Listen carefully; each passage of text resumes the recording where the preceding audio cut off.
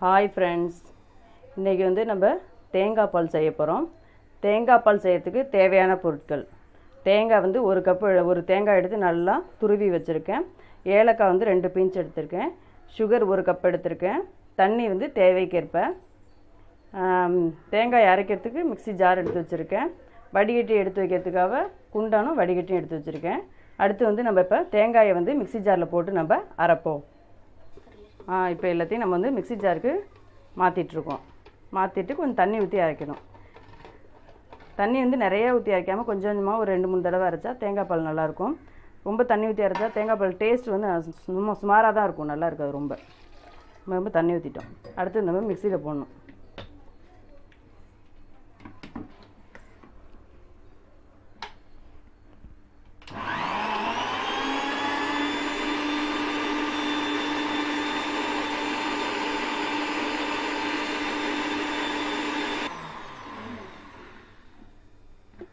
இப்போ தேங்காய் தண்ணி போட்டு நல்லா அரைச்சிட்டோம். இப்போ வந்து நம்ம என்ன பண்ண போகிறோம்னா வடிகட்ட போகிறோம்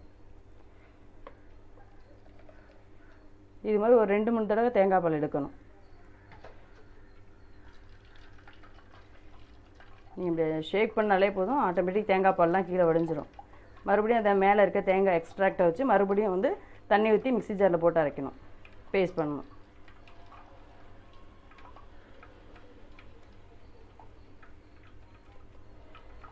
தேங்காய் பால்லாம் வடிஞ்சிருச்சு. அடுத்து வந்து நம்ம மறுபடியும் அதை மிக்ஸி ஜாரில் ஆட் பண்ணிக்கலாம். இந்த தேங்காய் பால் சாப்பிட்றது வந்து வயிற்று புண்ணெலாம் சரியாயிடும். ரொம்ப நல்லது.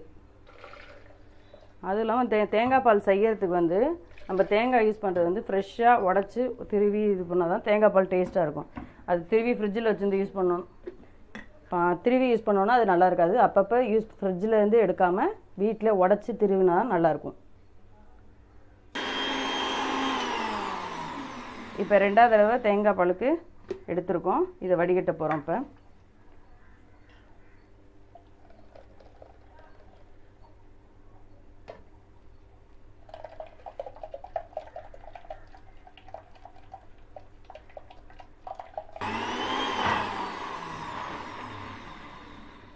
இப்போ மூணாவது தடவைக்கும் நம்ம தேங்காய் அந்த தேங்காய் திருவி போட்டு அரைச்சது இருந்துச்சுல அது மூணாவது தடவை தேங்காய் பால் எடுக்கிறதுக்கு.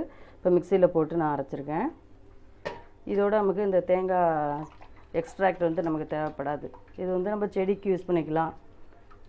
ஏன்னா செடிக்கு வந்து இப்போல்லாம் நம்ம மாடியில் கார்டன் மாதிரி வைக்கிறவங்க வந்து சும்மா எல்லாத்தையும் வேஸ்ட் பண்ணாமல் அந்த காய்கறி வெங்காயம் அந்த இதெல்லாம் இருக்கும்ல எல்லா வேஸ்ட்டெல்லாம் ஒரு நாங்களாம் ஒரு பக்கெட் போட்டு மக்க வச்சு நாங்கள் அதை யூஸ் பண்ணுறோம் அதே மாதிரி தான் நீங்களும் யூஸ் பண்ணால் கொஞ்சம் நல்லாயிருக்கும் இப்போ கூட எங்கள் கார்டனில் வந்து பாவக்காயெல்லாம் கொஞ்சம் நல்லா காய்ச்சிருக்கு. இப்போ நம்ம தேங்காய் பால் வந்து வடித்து வச்சுருந்தோம் அதை வந்து நம்ம மிக்ஸி ஜாரை கழுவிட்டு மறுபடியும் நான் தேங்காய் பால் ஆட் பண்ணுறேன் ஏன்னா அதில் வந்து நம்ம சுகரு ஏலக்காய் பவுடர்லாம் ஆட் பண்ணணும்ல அதுக்காக தான் இப்போ நான் சுகர் ஆட் பண்ணியிருக்கேன். அடுத்து ரெண்டு பிஞ்ச் வந்து நான் ஏலக்காய் பவுடர் எடுத்து வச்சுருந்தேன். ஏலக்காய் வந்து நான் போட்டு ஏற்கனவே மிக்சியில் வந்து அரைச்சி வச்சுருந்தேன். இது கொஞ்சம் இன்னும் நல்லா ஈஸியாக அரைச்சிடும் அதுக்காக. அடுத்து வந்து இப்போ மிக்சியில் போட்டு நல்லா நைஸாக அரைக்கலாம். நல்லா கரையணும் எல்லாம். இப்போ வந்து நம்ம நல்லா நைஸாக இதாக அரைச்சிட்டோம். எல்லாம் ஜீனி எல்லாமே போட்டிருந்த சுகர்லாம் அடுத்து வந்து நம்ம மறுபடியும் அதை வடிகட்டிடுவோம். இப்போ வந்து தேங்காய் பால் வந்து ரெடி ஆயிடுச்சு. இப்போ இதில் இருக்கிறதெல்லாம் வந்து பார்த்தோம்னா அந்த ஏலக்காய் பவுடர் இருந்துச்சுல அந்த இதோட வேஸ்ட்டு அவ்வளோதான் இப்போ வந்து நமக்கு தேங்காய் பால் ரெடியாக இருக்குது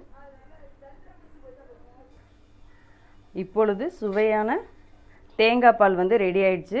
உங்களுக்கு இந்த வீடியோ பிடிச்சிருந்துச்சி அப்படின்னா லைக் பண்ணுங்கள் ஷேர் பண்ணுங்கள் சப்ஸ்கிரைப் பண்ணுங்கள் மறக்காமல் பெல் பட்டனை கிளிக் பண்ணுங்கள் தேங்காய் பால் ரொம்ப நல்லது. Okay thank you